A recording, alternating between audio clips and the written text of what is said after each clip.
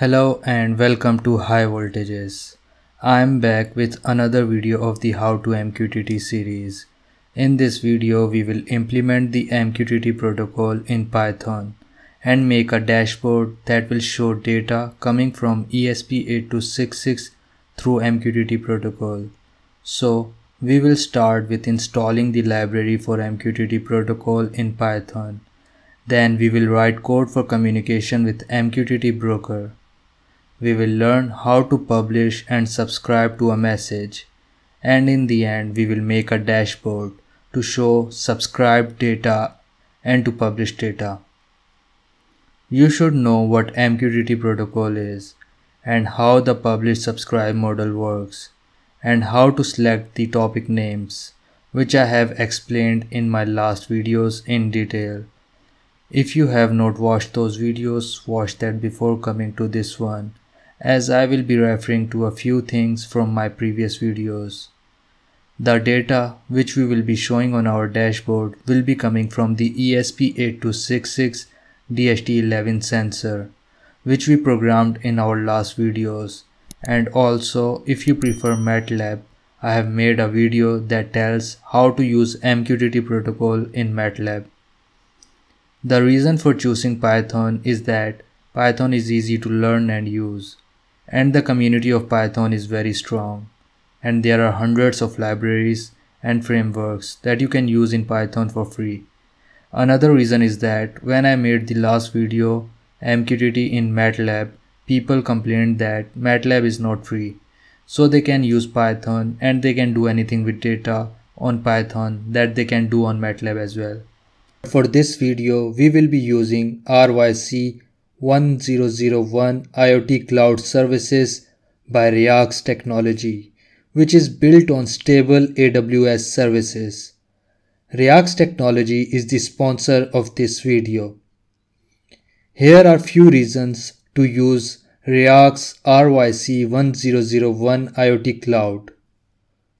It is built on stable AWS services. It has database to store search and modify data. It is low cost access to the cloud. So the next thing is how are we going to use RYC 1001 IoT Cloud in our project? Here is the operation flow. We will first need to buy the RYC 1001 cloud and they will provide us with some credentials. Then we can set MQTT URL and communication port. Then we will set username, password and client ID. Then we will connect and log in. ESP8266 will subscribe to API separator command separator your network ID separator hash to receive command to turn on and off LED. ESP8266 will read DHT11 data and publish it on API separator request.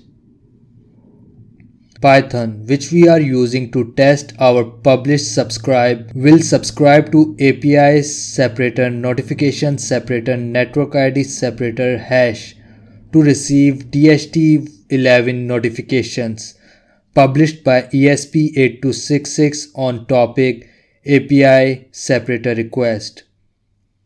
In Python, we will publish the command for turning on and off the LED on the topic API separator request.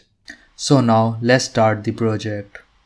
I am using PyCharm and Python 3 and I have created a new blank project. So we will first go to terminal and write pip3 install paho-mqtt to install MQTT library.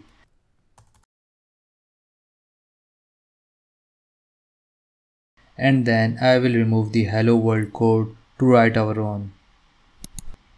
Then we will import the library in our project. And we will write few variables that will contain the information about broker, port, topic for publishing data, topic to subscribe, client ID, username, password and device ID. You will get values of all these parameters from the cloud service you are using.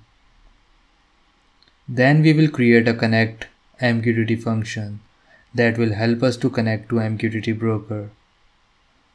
First, we will make a client by using the MQTT client.client function and passing client ID as parameter. And then we will set username and password that will help us to authenticate. And then define that when client is connected, call this onConnect function, which we do not have right now. Let's create it. So we will create a onConnect function that will take few arguments as a parameter.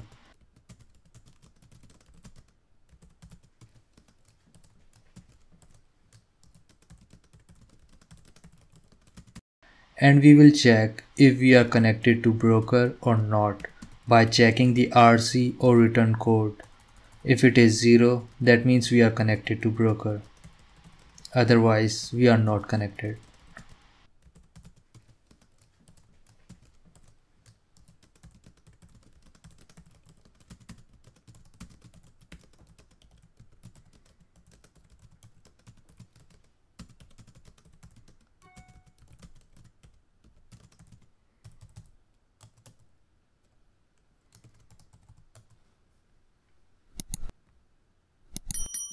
And in the end we will return the client.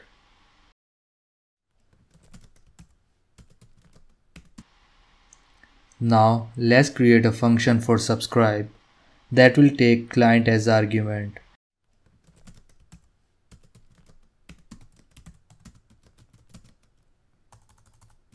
And we will write client.subscribe and pass the topic name to which we want to subscribe and we will write that client.onMessage. message.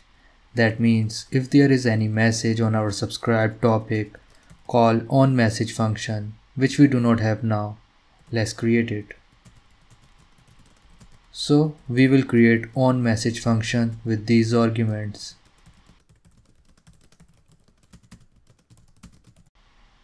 And in the function, we can just print the message received for now.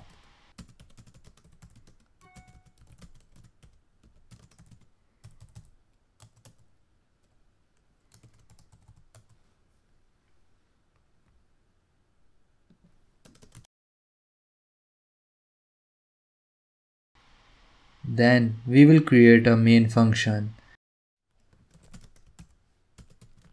in which we will create a connection by calling connect dash mqtt function which we created and then calling the subscribe function so we can subscribe to our topic.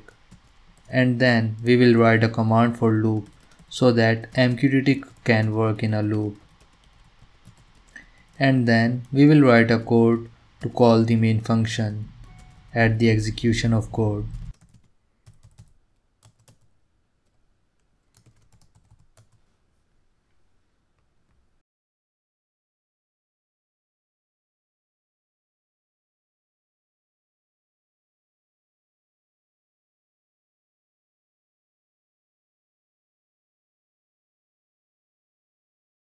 and you will see that we are connected to broker and receiving messages.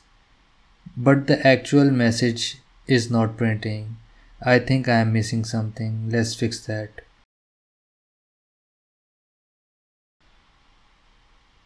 Okay, here is the mistake. I used a normal string but it should be f string. So let's put f so we can see values of variable instead of variable names. So now if I run this, you can see that data is coming in form of JSON format.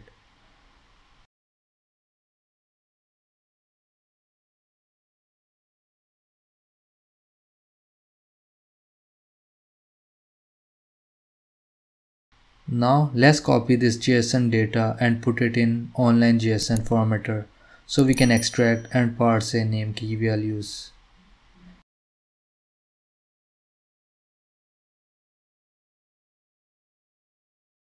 You can see our parameters temp and humidity are inside notification and parameters.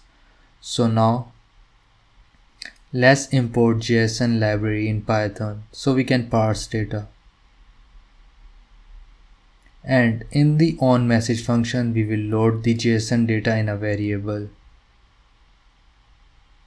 and read the temperature and humidity values that are inside notification and parameters key.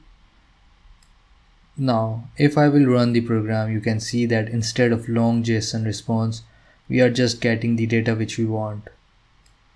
Now we will read temperature and humidity value in separate values like this.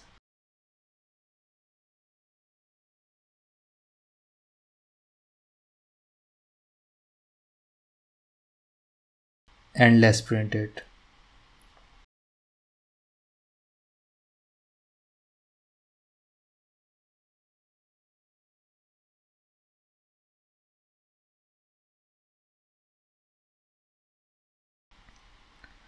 Now let's make publish function.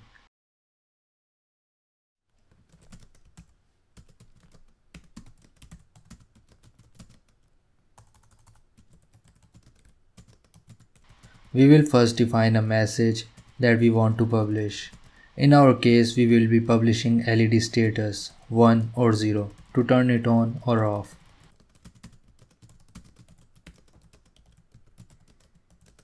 And then we will call client.publish that is a function of PAHO MQTT library and pass topic name and message to publish.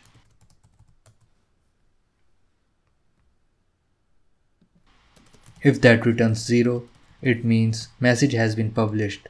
Otherwise, you should check your credentials or there is some problem with connectivity.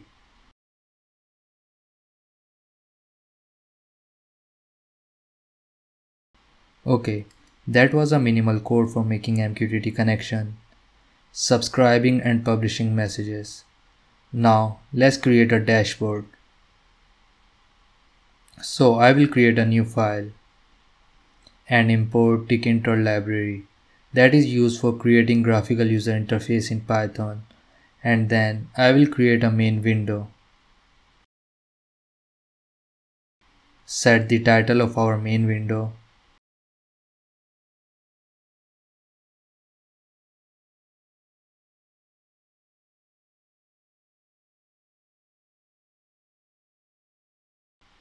and set it on loop.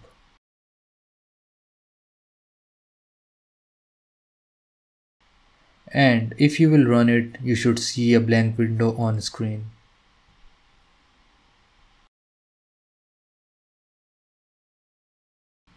Now let's set the geometry of our window and let's set the resizability off.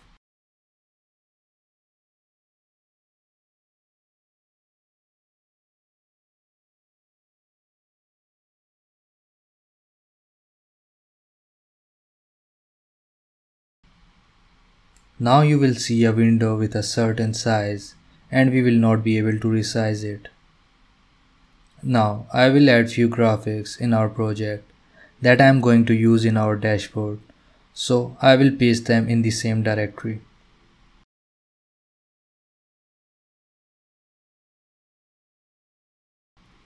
And now we will create a canvas to show image on window. And we will write where to place it in window by giving x and y values.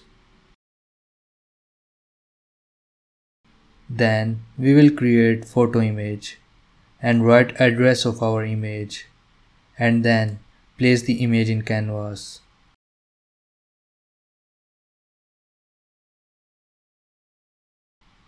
Similarly, I will add other images and will just change the position of them.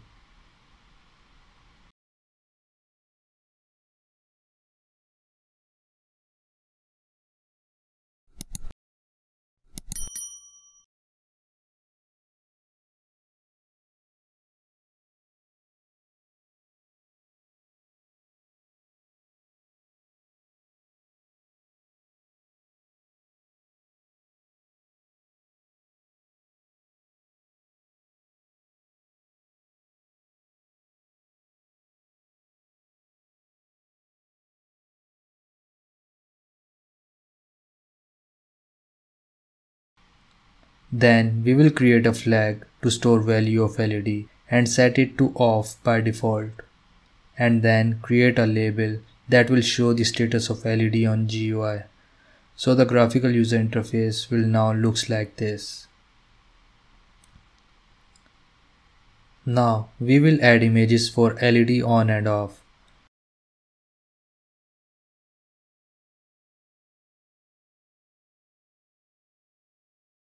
And then we will create a button that will contain the LED off image on default. And when it will be pressed switch function will be called. Let's create it now. So we will define switch function and read the status of LED if LED is on we will make it off and change the picture and label and change the flag value. And if it is off we will use the LED on image and change the label picture. For now just let's just print the values. So now you can see if I am pressing button status is changing. Now let's add another graphic on footer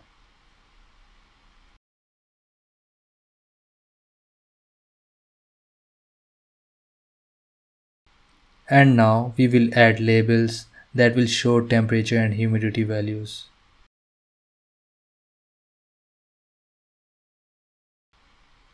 And our dashboard is ready. Now we just needed to connect with MQTT code, so let's do it now. We will first copy the libraries and the parameters.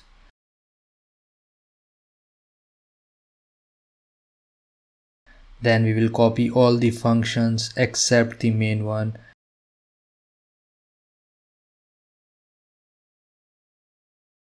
And paste it after the parameters definition. Then in the on message function, we will update the values of temperature and humidity label and dashboard. So that if we receive any message, the values of temperature and humidity should change and in the switch function we will call the publish function and publish the value.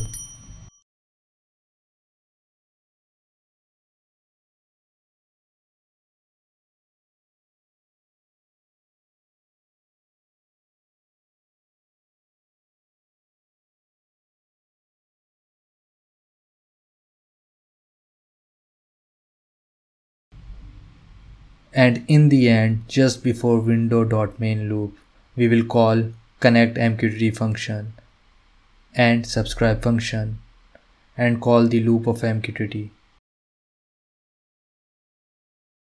But note that this time we cannot use loop forever as loop of mqtt and loop of gui will make a conflict. So we will call loop dash start and we will call the loop stop after window.main loop and that's it. The MQTT dashboard is ready to test. Let's run it and see the working. You can add your graphics and I hope after this tutorial you will be able to make your own customized dashboards with your own graphics. Thank you for watching and in the next video I will add the real-time plots in the same dashboard and we will save all the data in Excel file. See you next time. Don't forget to subscribe and press the bell icon.